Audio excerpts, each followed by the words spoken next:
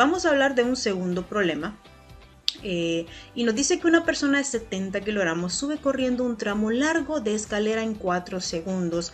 La altura vertical de la escalera es de 4.5 metros. Nos pide calcular la potencia de la persona en watts y en caballos de fuerza. Entonces analicemos el problema. Vean.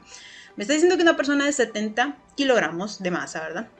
Sube corriendo un tramo largo en una escalera y lo hace en 4 segundos. Yo creo que nosotros nos hemos relacionado con, esa, con este problema porque en algunas ocasiones lo hemos hecho, ¿verdad? Subimos corriendo rápidamente algunas escaleras. Entonces esta persona con una masa de 70 kilogramos eh, sube las escaleras ¿verdad? en 4 segundos. Entonces nos dice que estas escaleras tienen una altura vertical de 4.5 metros. Vamos a calcular la potencia de esta persona en el proceso. Entonces recordemos, obtenemos los datos, que es el primer paso la masa de esta persona que serían 70 kilogramos. Tenemos la altura que sería de 4.5 metros. Recordemos estamos hablando de la altura de la escalera, no de la persona. Hablamos de un tiempo, que son 4 segundos. Y nos piden entonces encontrar esa potencia en watts y en caballos de fuerza. Entonces vamos a mencionar las ecuaciones que necesitamos trabajar. En este caso la ecuación para potencia, pero recordemos que vamos a siempre seguir arrastrando un poquito lo que es la ecuación de trabajo y la ecuación de fuerza. ¿Por qué? Porque observemos nuevamente los datos. No nos están dando una fuerza, no nos están dando un trabajo, por lo tanto no vamos a poder eh, utilizar la fórmula de potencia inmediatamente. Vamos a tener que encontrar esos otros valores. En el primer problema ustedes se dieron cuenta que lo hicimos paso por paso. Fuimos encontrando fuerza, fuimos encontrando trabajo y por último la potencia. Pero también lo podemos hacer de esta otra forma que yo les voy a indicar. Hacer como un condensado o como una unión entre las tres ecuaciones para poder utilizar algo un poco más sencillo o más explicado en este caso. Por ejemplo, ustedes se darán cuenta que voy a utilizar esta ecuación que también es para potencia y ustedes dirán de dónde ha surgido. De lo siguiente. Trabajo nos damos cuenta que es W. W, que es trabajo, es igual a la fuerza por el desplazamiento o la altura, como quieran mencionarlo. ustedes se fijan, la altura yo la estoy mencionando acá. Ok. ¿A qué equivale fuerza? Fuerza equivale a la masa por gravedad. Entonces lo que estoy haciendo es como una unión. Estoy uniendo la masa por gravedad que equivale a la fuerza, ¿sí? Junto con la altura, porque esa va a ser la equivalencia que me va a dar a mí una, una ecuación un poco más simple o más sencilla y no hacer tantos pasos a la vez para que no se nos extienda tanto. Entonces, esto también es totalmente permitido para que ustedes lo puedan eh, utilizar y puedan ver cuál de las dos opciones les sale más. Si la primera ustedes creen que es un poco más específica y más sencilla de utilizar, perfecto, la pueden usar. Se, se, darán cuenta que las respuestas tienen que salir iguales a como la estamos trabajando. Pero si ustedes quieren utilizar esta forma que es un poco más abreviada y eh, ya está específica, entonces ustedes la pueden utilizar sin ningún problema. Entonces vamos a reemplazar estos datos y nos damos cuenta que la masa es de 70 kilogramos, la gravedad que sería 9.8 metros por segundo al cuadrado multiplicado por el valor de la altura que sería 4.5 metros. Esto va a ir dividido entre el valor del tiempo que son 4 segundos. Entonces recordemos que el jueguito con las unidades de aquí es importante em, tenerle mucho cuidado porque recordemos que estoy multiplicando acá kilogramo por metro sobre segundo al cuadrado y esto me va a dar newton. ¿Ok? El newton que va a salir de acá, ¿verdad? Multiplicado por el metro de acá. Miren, esto me va a dar un joule. O sea que prácticamente en la parte de arriba o en el numerador yo me tengo como resultado un joule. Y en la parte de abajo yo tengo segundos.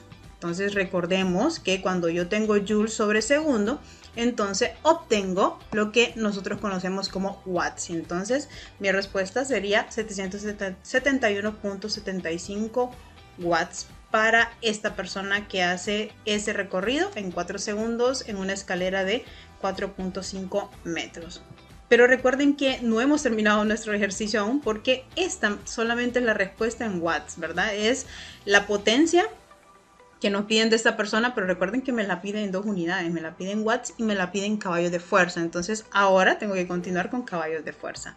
Entonces ¿Qué es lo que vamos a hacer? Bueno, ya tenemos los datos, ya tenemos la información, las ecuaciones, pero básicamente lo único que vamos a hacer es una conversión, porque recuerden que la potencia realmente ya la tengo, ya la obtuve en el primer paso o en la, parte 1 y descubrí que son 771.75 watts. Entonces lo que voy a hacer es una conversión. Recordamos un poco o si necesitamos retroceder el video y nos vamos a la diapositiva donde presentamos las ecuaciones que necesitamos para hacer algunas conversiones y nos damos cuenta que lo que necesitamos convertir es watts a caballos de fuerza. Entonces, una de esas conversiones es esta que me dice que un caballo, de fuerza va a ser igual a 746 watts. Entonces, esa sería la conversión que más me conviene para poder hacer o para poder obtener ese mismo valor, pero ahora en caballos de fuerza. Entonces recordemos que para trabajar una conversión necesitamos tomar el valor que, me están dando para poder convertir. Entonces en este caso vamos a utilizar el valor de la potencia que yo ya encontré en la parte 1, que serían 771.75 watts. Entonces colocamos la conversión que quedaría de esta forma. Recuerden que voy a jugar con esta equivalencia, es decir, si yo acá tengo watts o mi, mi valor para convertir inicia con los watts, entonces necesito que los otros watts me queden en la parte de abajo, ¿verdad? En relación a la equivalencia. Entonces 746 watts quedarían en la parte de abajo y un caballo de fuerza quedarían en la parte de arriba o en el numerador. ¿Por qué? Porque de esta forma yo voy a poder cancelar estos valores. Recordemos que es importante cancelar las unidades de watts porque de esa forma nos damos cuenta que las unidades que no se cancelan son la respuesta que me va a quedar en relación a las unidades. Entonces sería 1.03 HP que son los caballos de fuerza. Entonces ya obtuvimos esa potencia ya sea en los watts que nos pedían y por supuesto en los caballos de fuerza. Vamos a trabajar un tercer problema y este dice un motor de 90 kilowatts se utiliza para elevar una carga de 1200 kilogramos. ¿Cuál es la velocidad media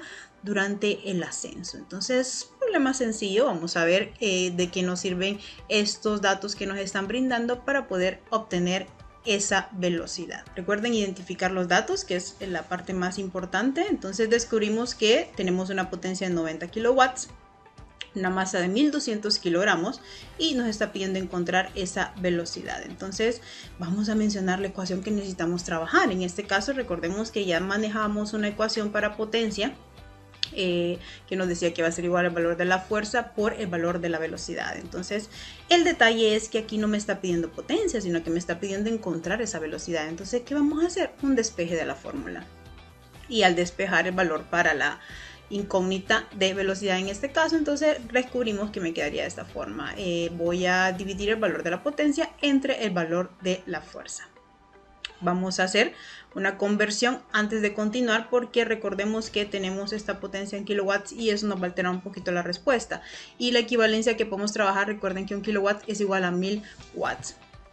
Entonces tomamos estos 90 kilowatts, recuerden, en este caso como quiero cancelar los kilowatts, entonces yo cancelaría estas dos unidades, por eso me quedaría de esta forma. Entonces tendríamos que multiplicar los 90 por los 1000 y me quedaría 90.000 watts.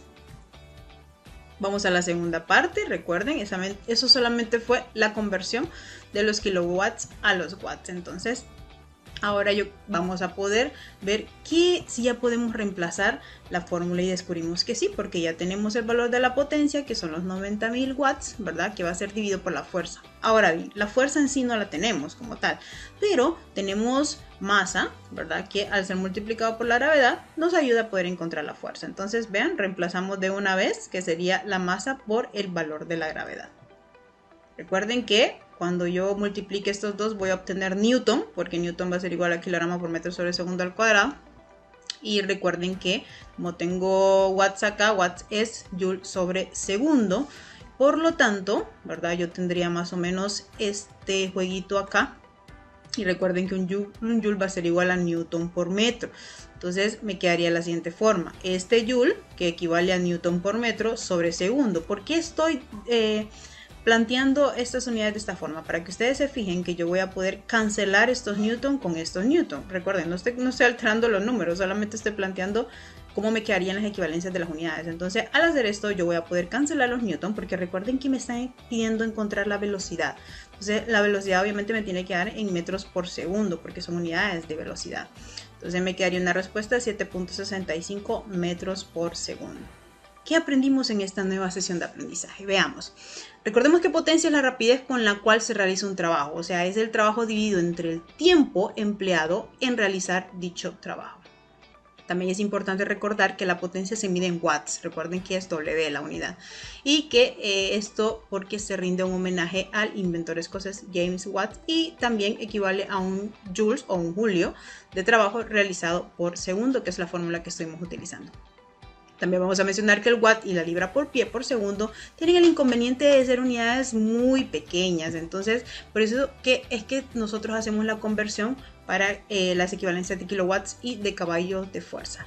Vamos a ver si colocamos mucha atención en todo el proceso, tomamos nuestras respectivas anotaciones y entonces les voy a regalar este problema para que acepten el reto conmigo y que puedan resolverlo eh, como todos unos expertos en la materia. El problema dice así, un ascensor de 300 kilogramos es elevado a una distancia vertical de 100 metros en 2 minutos. Nos hace la pregunta, ¿cuál es la potencia empleada? Está muy sencillo.